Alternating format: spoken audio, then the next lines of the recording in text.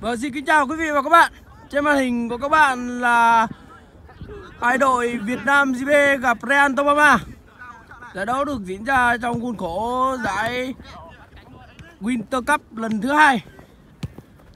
Ở giải lần này gồm có 6 đội tham gia. Và đội Việt Nam GB gặp Real Tomama là trận mở màn đầu tiên.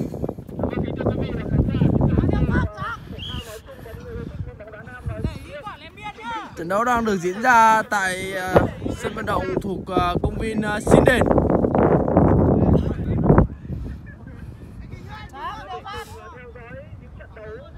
Như trên màn hình quý vị và các bạn đã thấy Việt Nam GB bảo môn bảo vệ cầu môn bên phía tay trái màn hình của các bạn và Real Tobama bảo vệ cầu môn bên phía tay phải.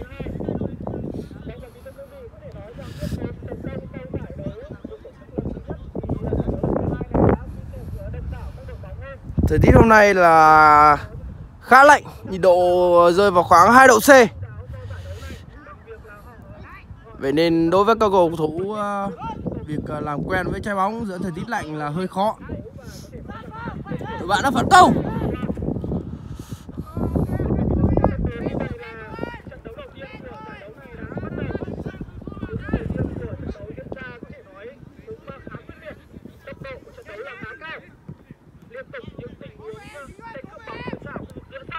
Hai đội tỏ ra không ai chịu thua kém ai. Ừ, ngày hôm nay thì Huy Hoàng đã trở lại. Nhưng mà giải lần trước ờ, Huy Hoàng đã bị chấn thương và không thể thi đấu tốt, phong độ không được ổn định. Ngày hôm nay hy vọng anh sẽ lấy lại niềm tin cho người hâm mộ cũng như ban huấn luyện đội bóng.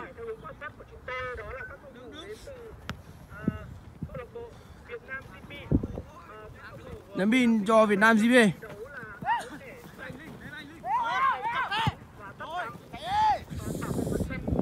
Đội bóng đỏ phản công. Bắn chung.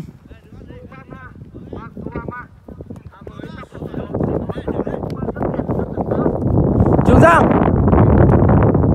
Trường Giang xuất xa. Cũng được rồi.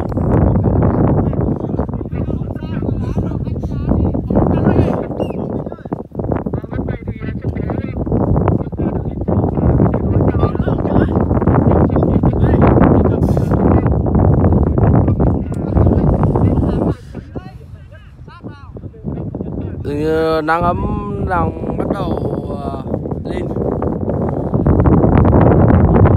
Tôi đứng quay mà cũng cảm thấy rất run.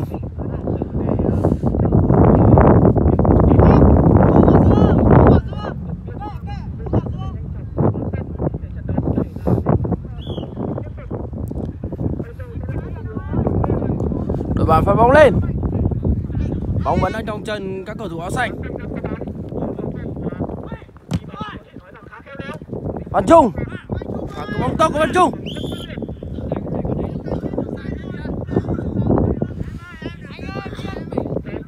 Đã có tính còi có trọng tài.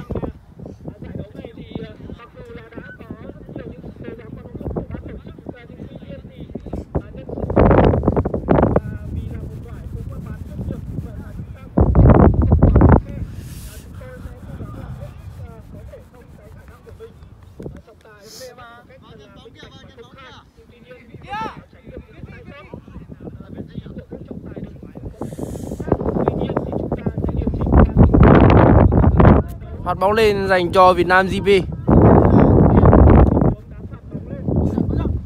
Xuân Tuấn.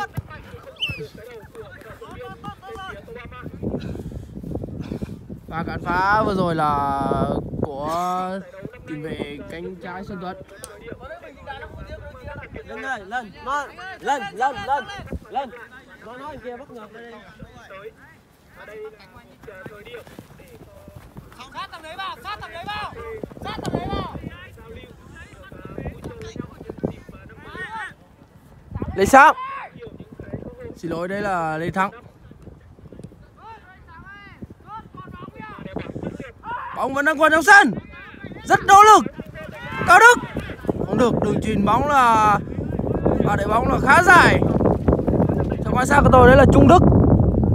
Hôm nay Trung Đức được tung lên đá vị trí tiền vệ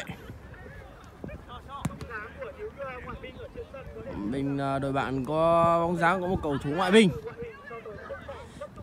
Và lấy bóng rất tốt của Lê Thắng. Chuyển cho Trung Đức. Không được.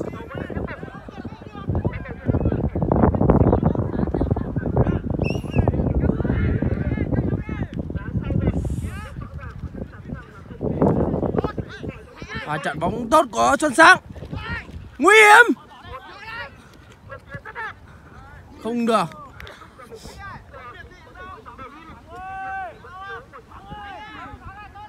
Có lẽ à, một phần do thời tiết, nên là đôi chân của các cầu thủ không được nhạy bén cho lắm.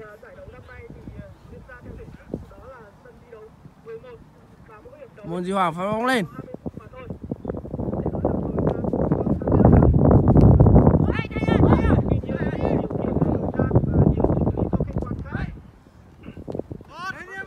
Xuân Tuấn Xuân Tuấn đang dẫn bóng.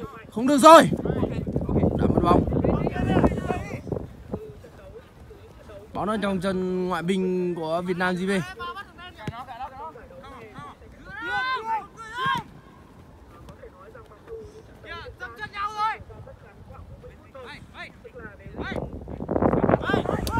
Xuân Giang. Trường Giang.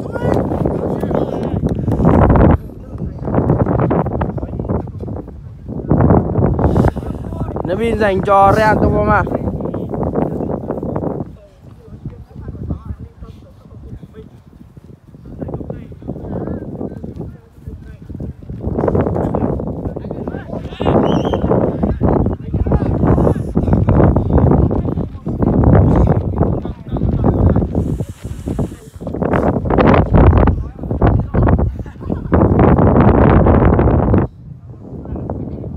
Vâng, phần đầu bên kia có lẽ là FC Đam mê đang uh, khởi động.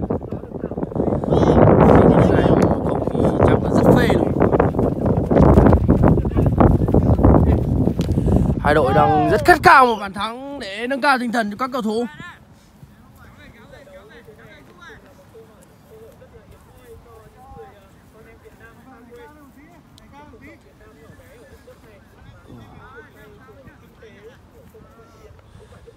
Giải đấu này chúng ta có thể nhìn thấy hình ảnh à, của các chiến binh Việt Nam. Nhưng còn xa xứ với niềm đam mê bóng đá.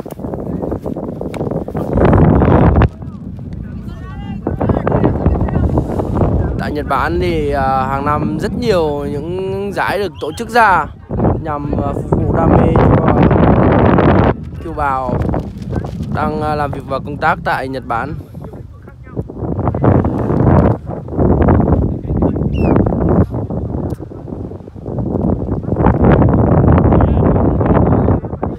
Giá C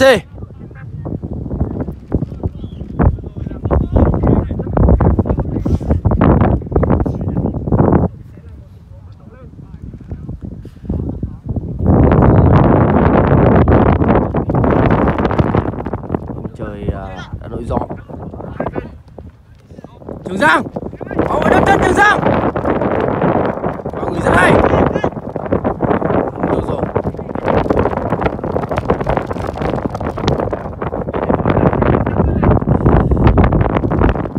Hai đội tranh chấp ờ, khá là quyết liệt.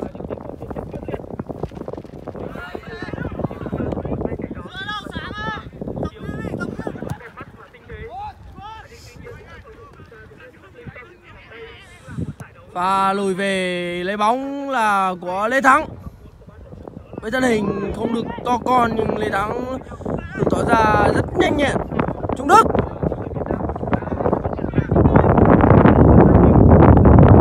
Là Trung Đức. Đưa bóng lên nào không được rồi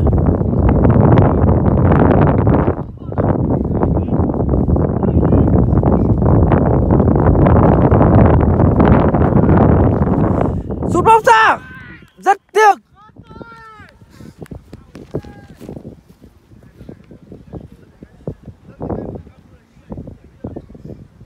có lẽ chỉ cần nắn thêm một chút vào nó thôi là sẽ có một cơ hội cái bàn rõ rệt xảy ra.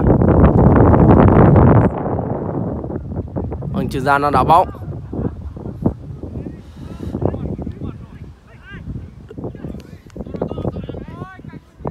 bắt bóng là của Văn Trung tới đây Ú, đây tên gì nhỉ số 10 đấy số 10 Dũng à xin lỗi đấy là Văn Dũng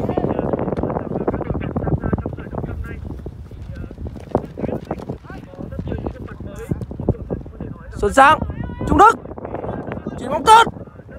Không được rồi, Đức ơi.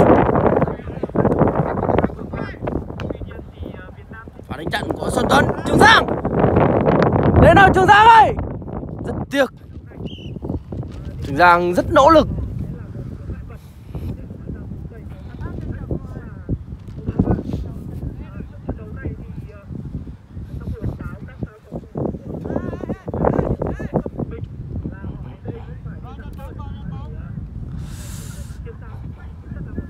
Và trong lịch sử thì hai đội đã từng đối đầu nhau rất nhiều. Nên là các huấn luyện viên cũng nắm rõ rất nhiều chiêu bài.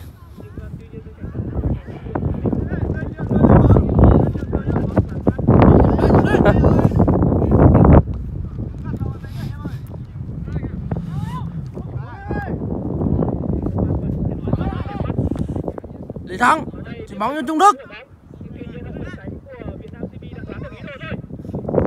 Chạy nào Trung Đức ơi! Rất tốt! Vẫn là Trung Đức! Chuyển bóng cho Lê Dũng? Không được rồi. Khá nhẹ nhàng. Và phối hợp là rất hay Thế nhưng uh, cú sút của Lê Dũng là không được mạnh cho lắm. Khá hiền.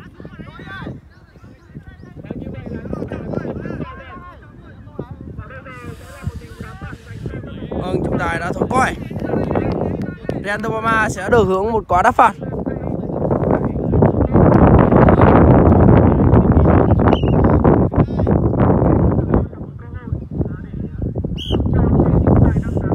Mitchell là người xuất phạt. Sút bóng vào, rất hay. Oh, và xuất phạt được rất đẹp.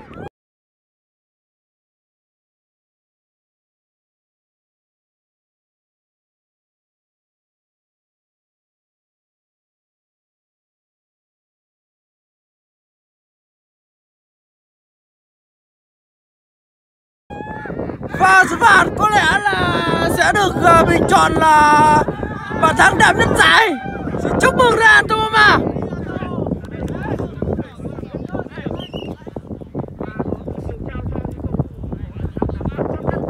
Đó là một uh, ngoại binh với phong cách của một sát thủ.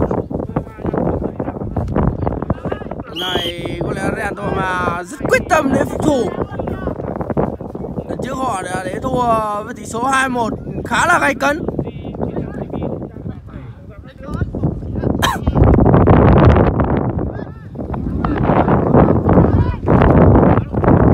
Đội bài phản công, nguy hiểm. Rất may là đôi chân ấy vẫn tỏ ra khá cứng giữa thời tiết 2 độ C. Một ngoại binh Tôi quan sát nước giả của anh thì có lẽ anh đến từ châu Phi chăng?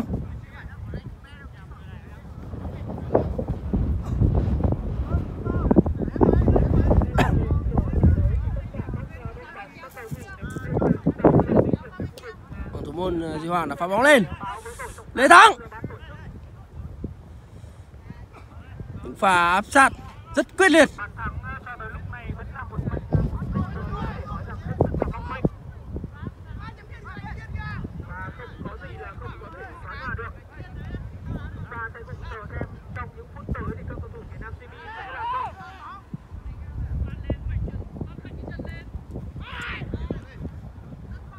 Là bóng ờ, là lên bắt bóng là Duy Hoàng. Duy Hoàng uh, tỏ ra rất tự tin. Với tiểu sử đã từng thi đấu cho Hà Nội TNT Trung Đức tấn công nào Trung Đức ơi! Trung Đức đang bất tốc rất tiếc.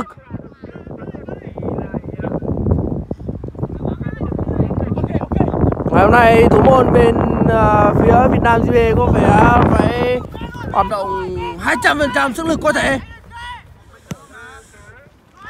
Với phong cách những chú đại bàng đang tung cánh săn mồi thì Real Tobama tỏ ra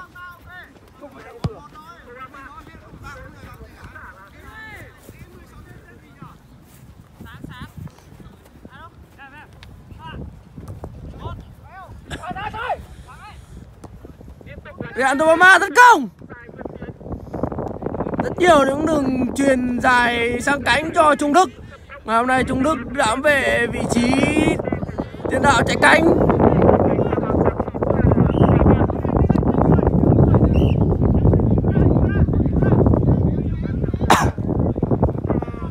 Thay người bên phía Việt Nam GB Emma sẽ là người được tung vào sân thay cho Era.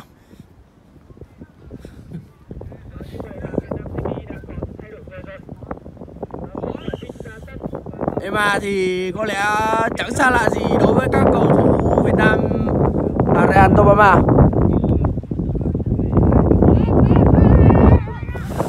Bắn súng! Sút xa và kẹp bóng rất tốt cầu thủ bên phía đội bạn. Sút tấn công không vào! Tiếp tục nào Không được rồi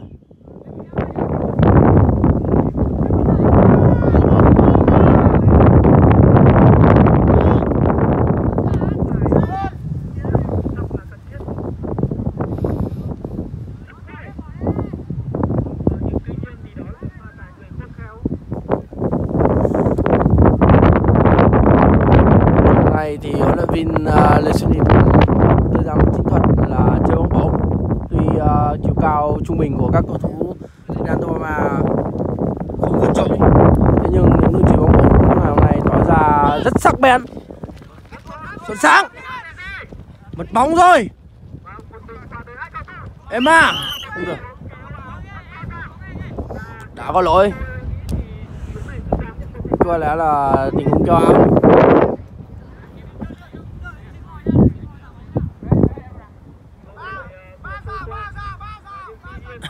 một nửa thời gian đã trôi qua. Và tỷ số trận đấu bây giờ đang là 1-0 nghiêng về phía Real Tobama. Người xuất phạt lần này à, có lẽ là Emma. Không.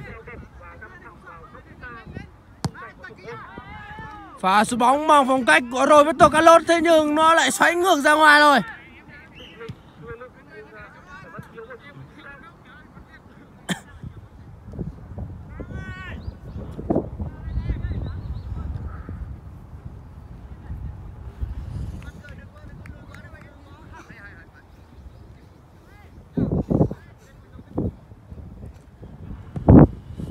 Duy Hoàng phát bóng lên Ôm với nhau Thở đi, đi bộ đi, kệ đi.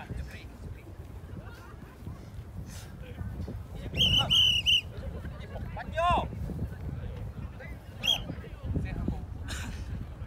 Vô, tụ bóng vô. Rồi, bắn, bắn, bắn, bắn. Có bóng rồi, ờ, có cái ai bỏ những quả đi. Tôi quan sát thấy phía ngoài đường biên đang có những cầu thủ của các đội bóng đang quan sát và theo dõi trận đấu. Ném in dành cho Real Tobama. Bắn Dũng tiếc không có cầu thủ nào ờ, cắm mốc bên trên Các đội bóng sẽ rút ra cho mình nhiều kinh nghiệm. Đá đi, đá đi. Đá đi, kia khỏi kìa, chọc đi. Xem như qua tới hai cầu thủ thôi. Đã có lỗi rồi. Văn Trung là người uh, phạm lỗi. Với biệt danh là Trung Tây. Chính ra của anh mà Sở Trường là bắt những cầu thủ Tây. Emma xuất phát.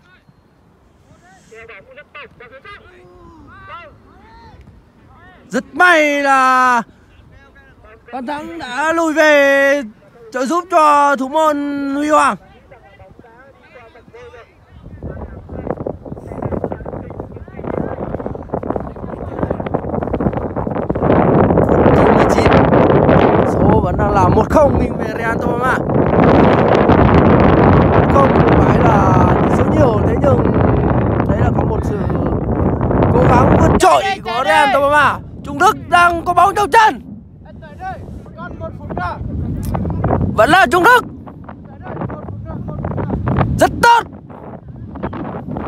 vừa rồi, bóng đá ra với sân.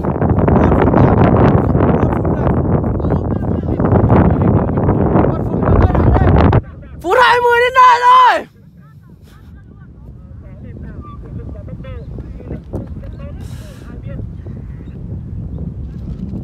tình huống lộn xộn. Trường giang. Đội bạn đã có bóng.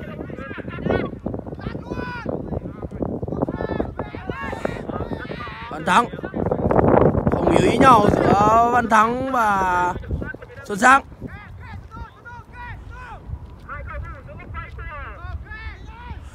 Đội bạn đang phản công.